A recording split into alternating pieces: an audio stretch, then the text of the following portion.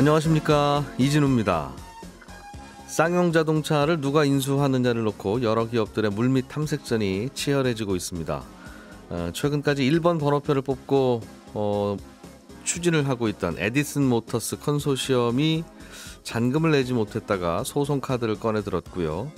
또 뒤이어서 인수 참여 의사를 밝힌 쌍방울 그룹의 회사들 주가는 하루하루가 다르게 급등락 중입니다. 이런 가운데 또 다른 기업들도 쌍용차 인수 의사를 표명하면서 상당히 이야기가 복잡해지고 있는데 오늘은 이 쌍용 자동차를 둘러싸고 지금 어떤 이야기들이 흘러가고 있는지 정리를 좀 해보겠습니다.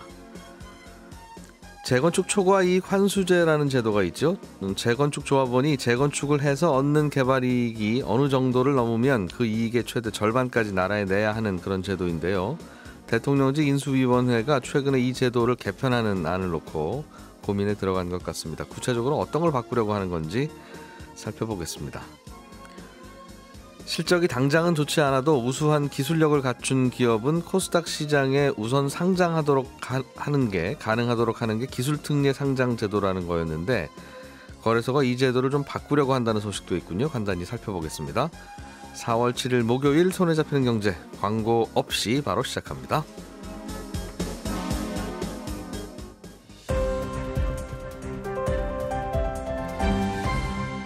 이진우의 손에 잡히는 경제.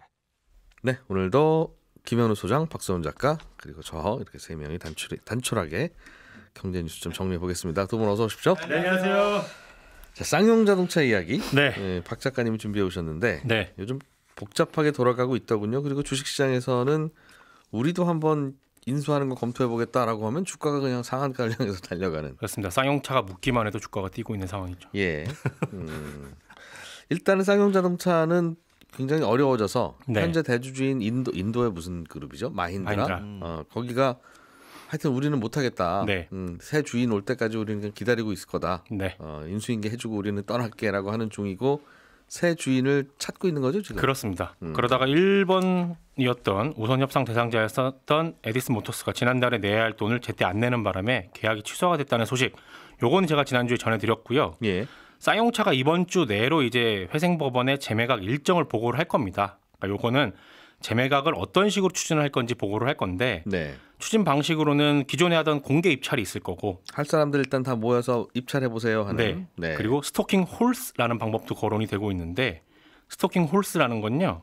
회생 기업이 인수 의향이 있는 쪽이랑 먼저 조건부로 인수 계약을 맺습니다. 네. 그리고 나서 공개 입찰을 진행을 하고요. 음. 근데 공개 입찰에서 더 좋은 조건을 제시하는 후보가 없다면 기존에 미리 계약을 맺었던 인수 의향자가 낙찰을 받는 그런 방식입니다. 자, 먼저 파트너 찾아놓고 네, 혹시 더 좋은 사람 있는지는 한번 다음에 차- 같이 살펴보고. 그렇습니다. 음. 근데 지금 일단 쌍용차 쪽에 남은 시간이 별로 없습니다. 10월 15일까지는 법에 따라서 무조건 회생 절차를 마무리해야 되거든요. 주인 찾아야 된다는 얘기죠. 네. 근데 만약에 이 기간 안에 못 찾으면 쌍용차는 청산 절차 밟을 가능성이 굉장히 높습니다. 음, 포기하고 이제 그럼 뭐 팔 거 팔고 네, 그렇게 한다. 그렇습니다. 음.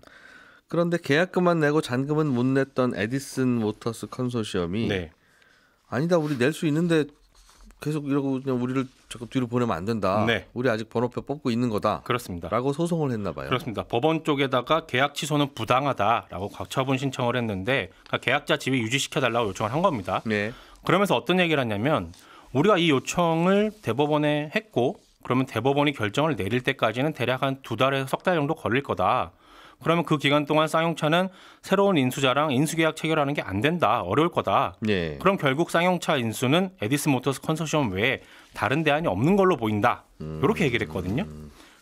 근데 우리 여기에 허락- 대해서 우리 허락 받아야 2번 번호표로 넘어간다. 그렇습니다. 근데 어제 또 여기에 대해서 쌍용차는 예. 그 말도 안 된다. 이거는 법리적으로 일방적인 주장이 불가하다. 그러니까 우리는 그냥 우리가 원하는 대로 인수자 찾아서 기한 내에 똑같이 예정대로 활동을 할 거다. 이렇게 얘기를 했거든요. 네.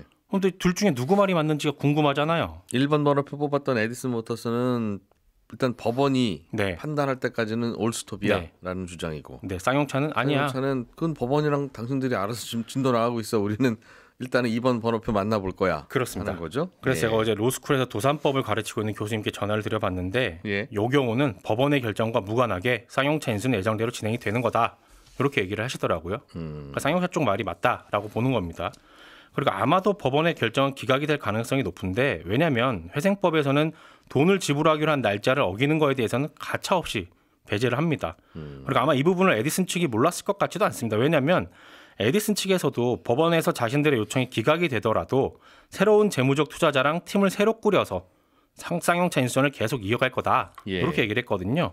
그리고 어제 자동차용 조명 부품 만드는 금호 HT라는 회사가 에디슨 모터스의 재무적 투자자로 참여를 하기로 했다. 이런 보도까지 나왔습니다. 새로 팀 꾸리고 있는데 네, 네.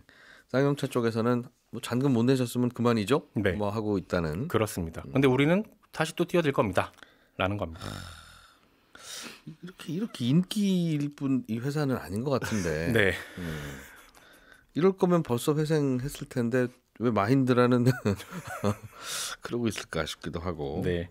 아무튼 여기 말고도 우리가 한번 인수해 보겠다고 팔 걷어붙이는 기업들이 좀 있어요. 그렇습니다. 음. 대표적으로 쌍방울 그룹이 있죠. 쌍방울 그룹 같은 경우는 특장차 제조 회사인 광림을 중심으로 예. 그룹 내 다른 상장 계열사들이랑 참여하는 컨소시엄을 구성할 거다. 그리고 구성해 가지고 인수를 할 거다. 라고 밝혔고 자금 조달을 어떻게 할 건지에 대해서 구체적으로는 최대한 빠르게 정리해서 이르면 다음 주 정도에 공식 일정을 밝힐 예정입니다. 네. 참고로 광림이라는 회사는 이동식 크레인, 뭐 전기 작업차, 청소차 이런 거 만드는 업체인데, 음. 근데 과연 또 쌍방울이 쌍용차를 인수할 자금이 충분하냐 이 부분에 대해서 또 우려의 목소리가 나오거든요. 얼마 필요해요? 쌍용차를 인수하려면? 아, 쌍용차가 지고 있는 뭐 일단 빚 다 갚아야 될 테니까 그 빚이랑 예. 인수하고 나서 이제 또 운영을 해야 되니까 뭐 예. 운영 자금, 초기 운영 자금까지 합쳐서 최소 1조 원. 가장 낮게 잡은 게 1조 원이고요. 음. 네. 1조 5천억 정도 필요하다라고 보는 쪽도 있습니다. 음.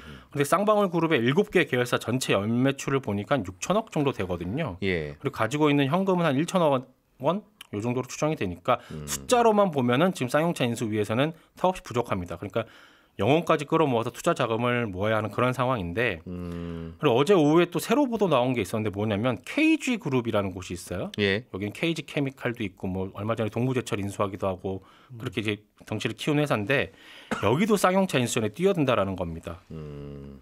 근데 여기가 사실상 지주회사인 KG 케미칼이 갖고 있는 돈이랑 돈으로 바꿀 수 있는 자산이 한 3,600억 원 정도 되거든요. 예. 근데 또 1조 원 넘는 쌍용차 인수하기 부족해 보이는 돈이긴 한데 음. 최근에 사업부 매각 계약을 한 게 있어요. 그 매각 대금이 한 5천억 정도 되니까 음. 또뭐좀 실탄은 충분할 것 같다. 뭐 이런저런 다른. 계열사들도 많은 회사니까. 그렇습니다.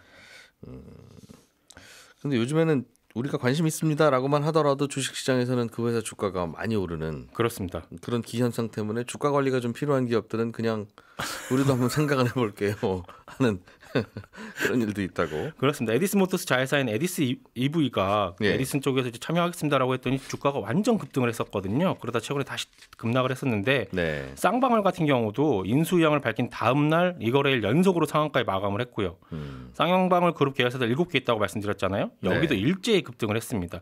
근데 주가가 급등한 사이에 쌍방울 그룹의 계열사인 미래산업이 또 다른 계열사인 IOK 주식을 전량 팔았다는 보도가 어제 나왔어요.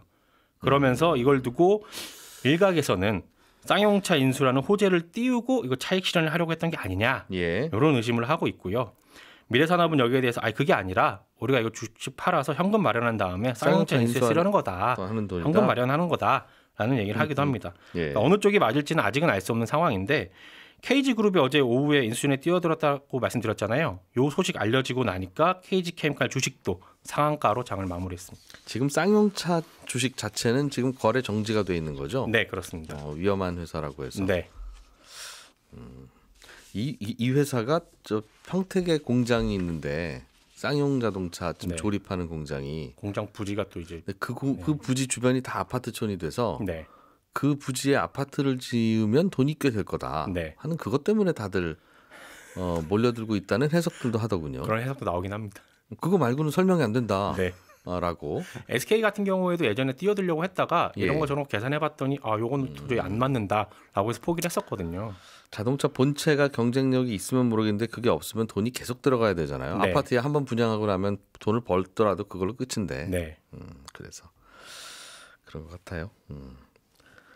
네, 김현우 소장님. 예, 재건축 초과 이익 환수제 이게 참 말이 많은 제도인데 네. 찬성하는 분들은 이게 참 정의로운 제도다라고 하고 있고 네. 반대하는 분들은 세상에 이런 악법이 없어요라고 하는 그렇습니다. 요거 좀 인수위원회에서 손봐야 되겠다 하는 생각을 하나 봐요. 네, 공약에도 있기는 있었는데요. 어떻게 손볼지에 대해서 구체적으로 나오지는 않았습니다. 근데 최근에 이 초과이익 환수제에 대해서 그 초과이익에 대한 기준하고 부과 기간을 조정하는 걸 검토하고 있다라는 내용이 나오고 있어요.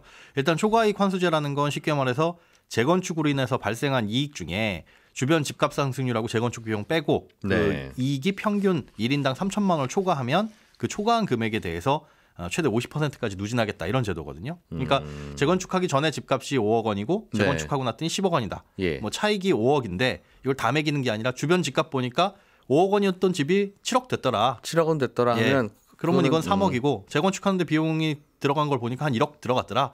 그러면 수익은 뭐 2억이다. 이런 식으로 계산을 해가지고 음. 누진을 통해서 10%에서 50%까지 누진 과세하는 겁니다. 예. 그런데 이 초과이익에 대한 기준 3천만 원을 1억 원으로 상향하는 안을 검토하고 있다라고 하는데요. 이렇게 되면은 계산식은 좀 누진 구조서 복잡한데 결론적으로는 종전 기준에서 1,600만 원까지 이 부담금을 내야 됐던 세금을 네. 내야 됐던 분들은 이제 조합은 대상에서 제외가 되는 겁니다. 이런저런 초과이익이 1억 원까지 붙는 건 그냥 저희가 안 받을게요. 그렇습니다. 쪽으로 바꾸자. 예, 3천만 원이라는 게 1억 원으로 올라가다 보니까 꽤이 높이 올라가는 거죠. 그리고 이 재건축 전과 후의 집값을 비교를 하려면 네. 어, 전이라는 처음이 있어야 되고 후라는 끝이 있어야 되잖아요. 근데 그 끝이라고 할 수 있는 가격은 재건축 다 완료되고 어, 준공 승인이 난 시점에서 공시 가격이 그 끝의 가격이에요. 비교하는. 그리고 예. 처음이 되는 시점은 재건축 추진위원회가 설립된 시점이 원칙이긴 한데 요 시점을 조합 설립 인가일로 변경하는 걸 검토하고 있습니다. 그러니까 쉽게 얘기해서 이것도 처음의 시점이 처음이라고 부르는 그 시점이 좀 뒤로 밀리는 거죠. 음. 그러다 보니까 집값이 그간에 좀 더 올라 있으니 그것도 규제가 좀 완화되는 효과고 이렇게 되면 이제 긍정적으로 기대할 수 있는 부분은 아, 그간에 이제 이, 이 조- 초과이익 환수제에 대한 규제가 풀리지 않을까 하는 기대감 때문에 속도를 늦췄던 조합들이 있거든요. 네. 거기도 이제 사업을 진행할 가능성이 좀 높아질 수 있고요. 또 일반 분양의 공급량도 일부 늘어날 수 있다. 이렇게도 볼 수가 있습니다. 왜요? 왜? 요게 이제 초과이익으로 인한 부담금, 그러니까 조합이 부담해야 되는 아. 부담은 이익이 커질수록 늘어나게 돼 있어요. 예. 조합의 이익이 커진다는 건 일반 분양이 많아질수록 커지는 거죠. 음. 음, 그런데 일반 분양으로 이 늘어 늘어난 그 이익이 네. 분양 금액이 결국은 이제 분담금을 줄이는 건데 나라랑 반반 나눌 거면 그냥 우리 그냥 1대1 그렇죠. 재건축해서 큰 집에서 그냥 살랍니다. 네. 그리고 차라리 음. 일반 분양에서 우리가 더돈 들일 거를 좋은 시설, 아파트 안에 뭐 수영장도 갖추고 헬스장도 갖추고 좋게 만들어서 음. 재건축이 완료된 시점에서 고급 아파트로 비싸게 팔겠다. 그게 더 이득인 거 아니냐라고 예. 생각하면 일반 분양이 줄어들 수 있거든요. 음. 그런데 이렇게 조금 허들이 낮아지게 되면 음, 일반 분양이 다시 늘어나지 않을까라고 하는 것도 기대를 할 수는 있습니다. 일반 분양해서 그러니까 재건축 조합원 거 말고 네, 보통 뭐 이제 모르던 주민들한테도 팔아서 그 분담금을 조금 낮추자. 어, 라고 그렇게 할 해서 돈을 벌더라도 세금 내는 게 좀 줄어드니까. 네, 뭐 반면에는 요게 이제 또 집값 상승을 자극할 수도 있다라고 예. 해서 함부로 건드리면 안 된다라는 의견들도 있고요. 굉장히 민감한 부분이긴 합니다. 그 주변 집값 오르는 것보다 왜 재건축을 추진하면 그게 더 많이 오르느냐에 대해서. 네. 그러니까 재건축 초과 이익이죠. 재건축이라고 하는 건 더 특혜가 있는 겁니다라고 주장하는 어, 이론도 하나 있고. 네, 그게 아니라 재건축하기 전에 원래 그 아파트는 한 15억 가치 있는 아파트였는데 이게 재건축이 재건축을- 될지 안 될지 나라에서 허락해줄지 안 해줄지라고 해 불확실성 때문에 눌려 있는 거다. 한 11억 원 정도에 거래되던 게 예, 어 진짜 추진되나 보다. 그러면 원래 가격으로 원래 가치인 15억까지는 일단 올라야 되는 거 아니냐 예, 하는 것 때문에 오르는 거다. 이게 초과 이익이 아니라 그동안 눌려 있던 거. 원래 이 어, 원래 이 어, 돌아온 겁니다. 하는 또 그런 이론도 있고 복잡하더군요. 음, 그렇습니다. 예, 김한호 소장님이 준비해 오신 소식 하나 좀 하나만 더 볼게요. 예, 기술 특례 상장이라고 하는 제도가 있었는데 네, 요거 요거 너무 저 흔하게 했더니 이거 문제가 많다고 네.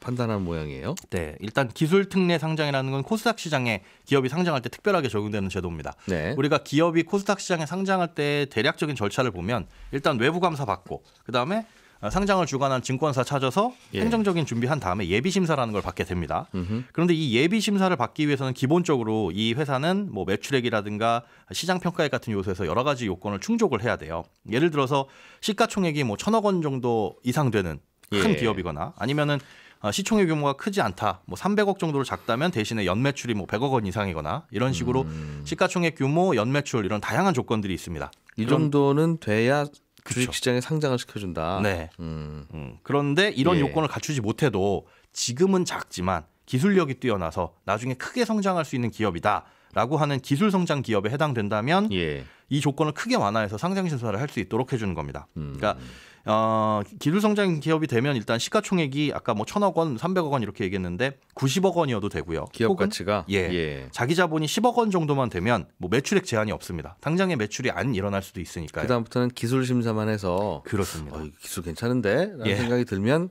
해주는 거죠. 일단 상장 네. 한다는 거죠. 뭐 물론 이제 나머지 감사 의견이나 지배 구조 같은 요건은 다 동일한데 음. 뭐 시가총액이나 이 회사의 시, 이 매출 이런 것들에 대한 기준이 굉장히 완화되는 거죠. 음. 이게 2005년에 처음 제도가 도입돼서 처음에는 이제 바이오 기업 중심으로 돌아가다가 네. 2014년에 이런 기준이 다 폐지되고 지금은 모든 업종이 가능해서 현재까지 총 151개 기업이 이 제도를 통해서 상장을 하고 있습니다. 요건을 갖추지 못했어도 기술이 좋다고 판단하면 상장시켜주겠다. 네, 그렇습니다. 151개면 상장 기업의 거의 한 10% 넘는 그렇죠.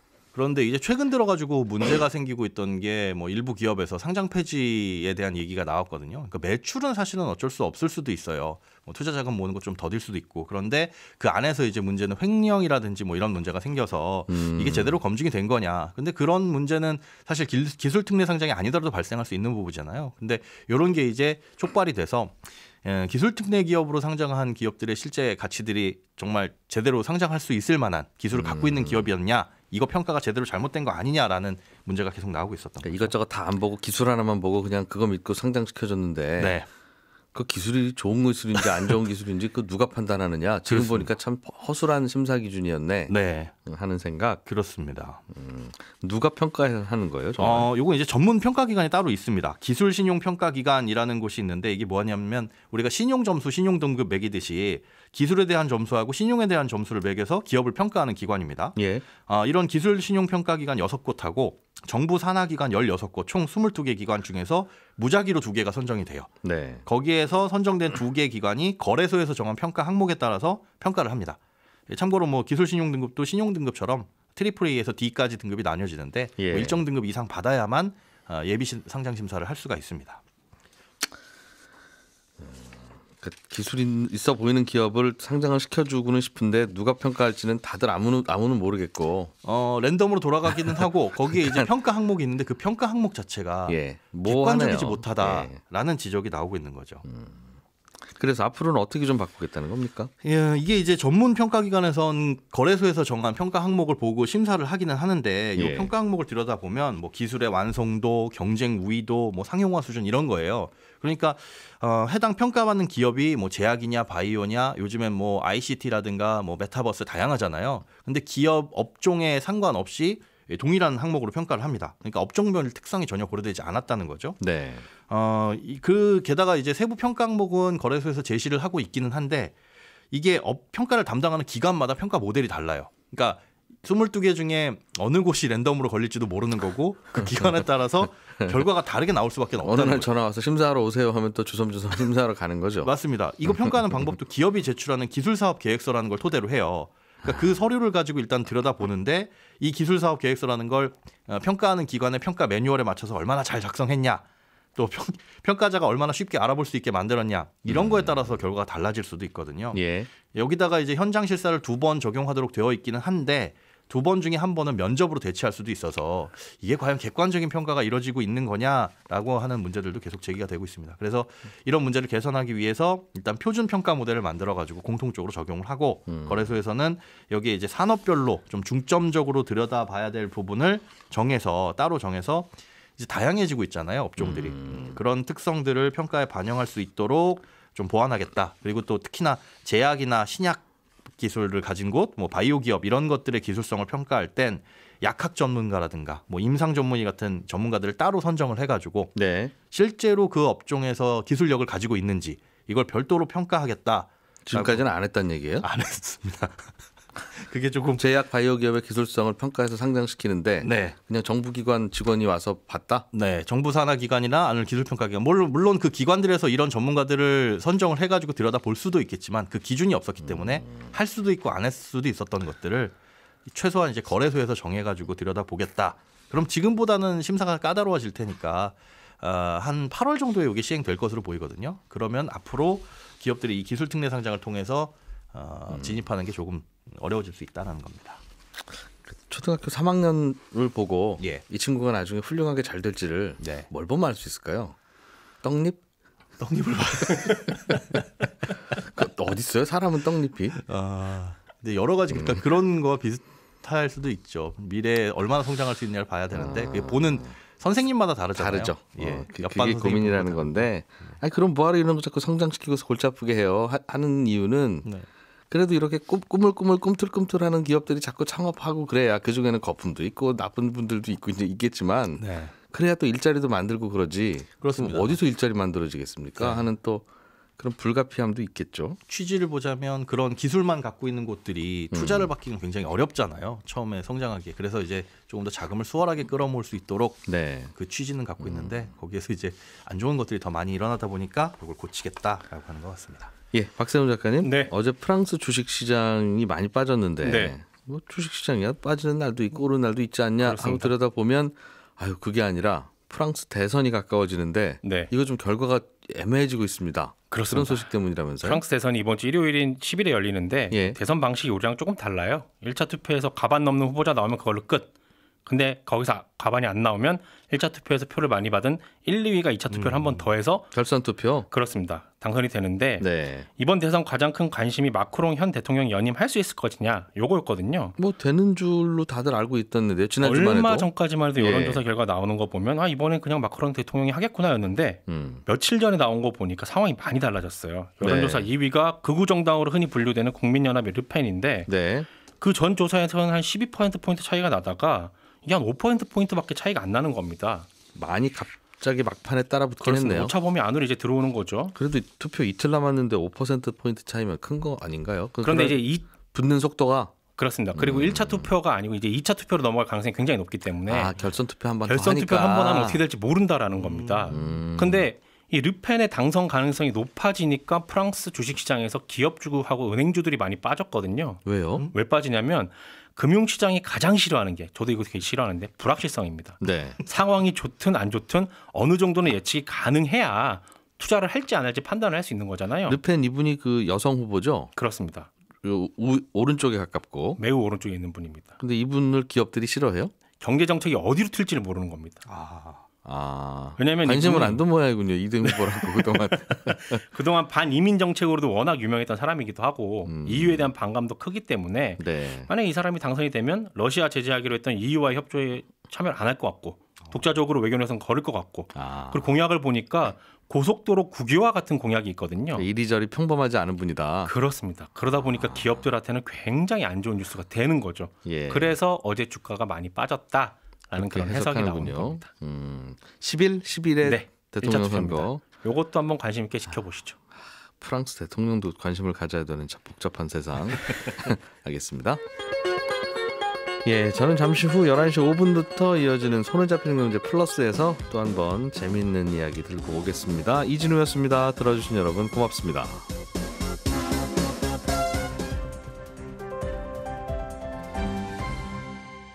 경제를 생각하는 사람들의 즐거운 습관. 이진우의 손에 잡히는 경제.